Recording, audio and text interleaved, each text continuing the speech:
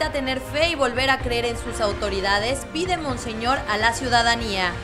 Entre festejos y felicitaciones, celebró el gobernador del estado Roberto Borge Angulo su cumpleaños número 36.